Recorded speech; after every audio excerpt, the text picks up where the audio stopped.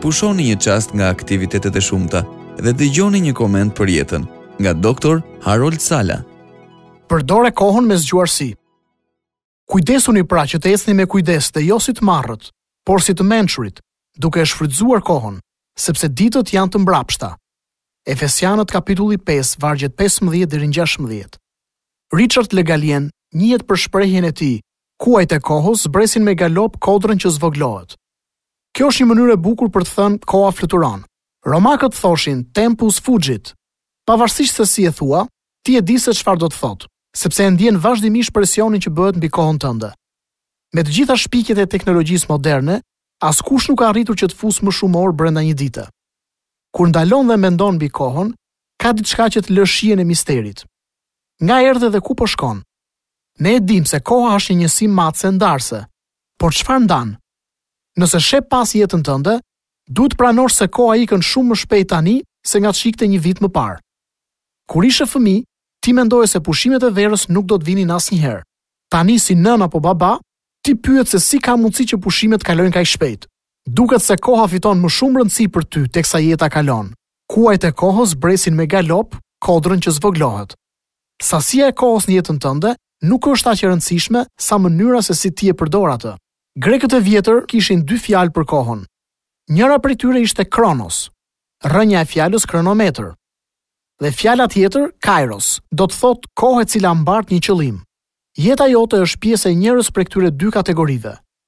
Po jeton ose jetën pa qëllim, Ose jetën që ka një dimension dhe ka të vërtetë brenda saj. Cila prej tyre është? Robert Moffat, një misionar një herë shkroi, Ne do të kemi të gjithë përjetësinë për të festuar fitoret tona, por kemi vetëm një orë të shkurtër që na ndan nga perëndimi kur duhet t'i korrim ato fitoret. Çdo njeri ka një kohë të caktuar, por askush nuk e di se kur përfundon koha e tij. Kjo është arsyeja që duhet të nxjerrësh më të mirën nga çdo moment. Shumë vite më parë apostulli Pal u shkroi Efesianëve dhe u tha, Shfrytëzoni kohën, sepse ditët janë të mbrapshta. Ai i nxiti ata që të përfitonin nga çdo moment, sepse jeta mund të jetë e shkurtër. Ndoshta keni dëgjuar për aktorin John Carroll. Ai ka bërë pak nga të gjitha. Ka punuar si aktor e po ashtu edhe ka udhëtuar në të gjithë botën. Carroll, në kohët e fundit, i tha një reporteri se shqetësimi i tij kryesor ishte koha. Ai tha, Koha nuk ecën, por fluturon. E më pas shpjegoi, Jam shokuar nga shpejtësia e jetës. Ndërsa isha i përfshirë në disa projekte vitet e fundit, zbulova se tre vite më kishin kaluar pa e kuptuar aspak.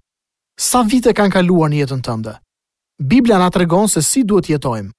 Ajo na thotë se koha është pjesë e përjetësisë e megjithatë, vendimet që merr në kohë përcaktojnë fatin tënd në përjetësi. Nëse do ta dije që do të jetoje vetëm për njëzet e katër orët e ardhshme, As më pak dhe as më shumë. Si do ta shpenzoje këtë kohë? A do të zhbëje disa mosmarrëveshje që ke pasur me njerëzit për një kohë të gjatë? A do të doje të shpenzoje më shumë kohë me familjarët e tu? Por ç'është më e rëndësishmja, a do të dëshiroje të kaloje pak më shumë kohë duke hetuar zemrën tënde përpara Perëndisë, për t'u siguruar se je gati për të hyrë në prezencën e Tij?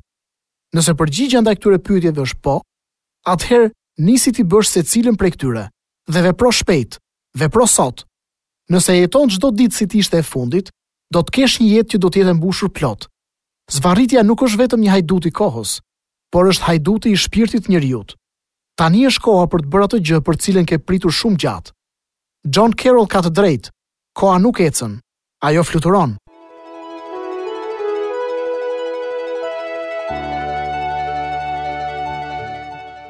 sapo dëgjuat Dr. Harold Sala në këtë koment për jetën. Për më shumë informacion për këtë program, vizitoni radioviz7.net. Do dëshironim shumë të na shkruanit në info@radioviz7.net.